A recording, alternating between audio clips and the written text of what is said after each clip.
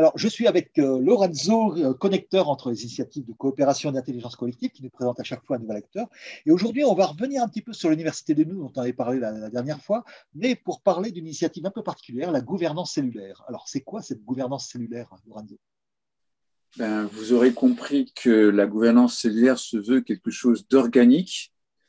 Et euh, bien qu'effectivement, ce soit beaucoup inspiré de toute l'approche de l'Université du Nou, il y a un point sur lequel euh, on met peut-être davantage euh, d'attention, c'est non seulement la dimension de l'efficacité dans les prises de décision, mais aussi prendre soin du vivant.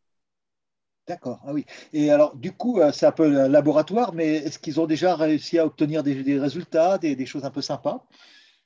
Alors, c'est vrai que pour l'instant, ça s'adresse essentiellement au monde entrepreneurial.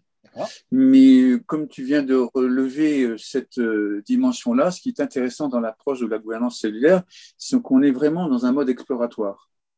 On ne parle pas de méthode, on parle de démarche. Donc, ça veut dire que dans ce cas-là, toutes les personnes sont, euh, tous les acteurs autour de la facilitation de la gouvernance partagée sont les bienvenus pour contribuer et apporter leur touche, bien entendu. Et alors, Donc, j'ai oublié d'insister. Je voulais de, préciser que tout ça est en open source, bien sûr. Ah, bien sûr, oui, j'imagine. Oui. Et alors, par contre, justement, comment on fait pour participer? Parce que si on est intéressé par ce type de, choses, on va sur le site, euh, c'est ouvert à tous, comment ça marche? Tout à fait. Alors, vous pouvez accéder très rapidement euh, à ce site et découvrir la Constitution qui a été élaborée euh, après de longs mois, justement, avec différents acteurs, dont l'Instant Z.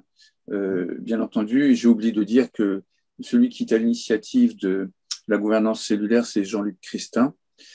Et donc, euh, il y a des rendez-vous régulièrement sur euh, différentes thématiques auxquelles vous êtes euh, les bienvenus à partir du moment, et bien entendu, qu'il y a déjà eu des échanges précédents.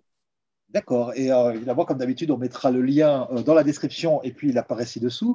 Et donc, merci Lorenzo pour ce nouvel acteur et rendez-vous la prochaine fois pour un nouvel acteur.